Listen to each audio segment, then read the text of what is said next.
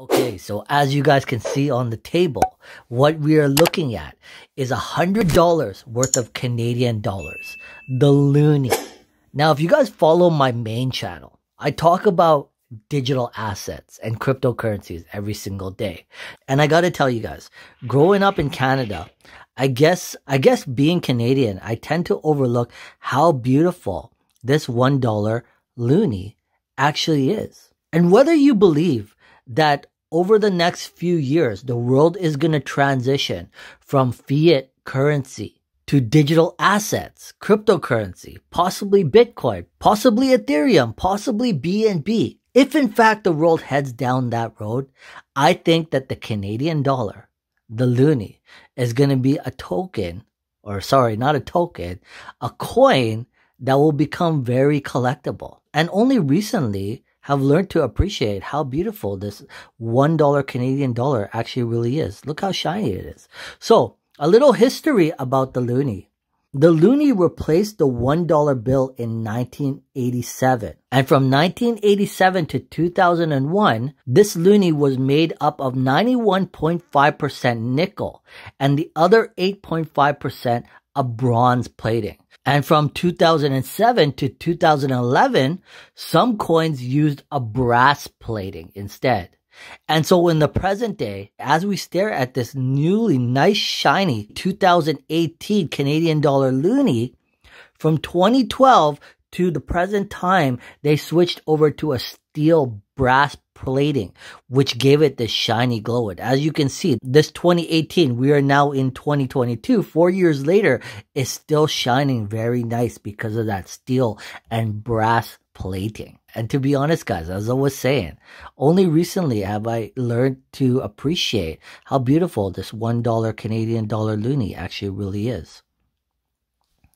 And so you can see that some of my coins are shining, but some of those in that stack have that uh, bronze plating and have a darker shade. I can actually pull out this one right here and you can see that this one goes all the way back to 1993.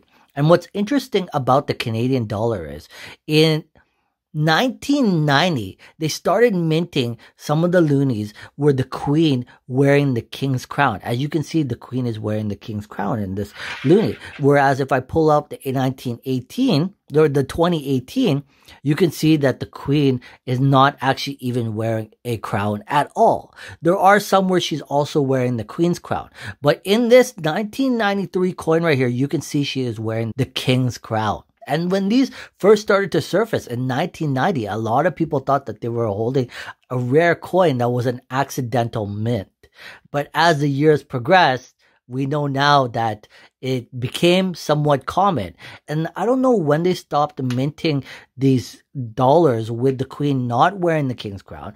But although what you read on the internet says that they're not very the most common dollar to find the queen wearing the king's crown, out of this whole stack, I'm telling you guys right here, there's a hundred dollars on the table. This was the only one that I could find where the queen was still wearing the king's crown.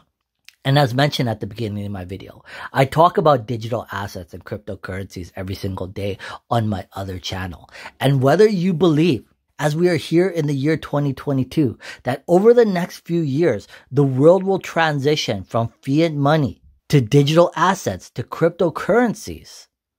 I think that the Canadian loonie will stick around and become a collector's piece if in fact that happens. I do remember over 10 years ago when they started recalling the one cent penny and now we no longer have the one cent penny. Now, I don't know if a lot of people decided to keep any of those around. I wouldn't see why they would be collector's items.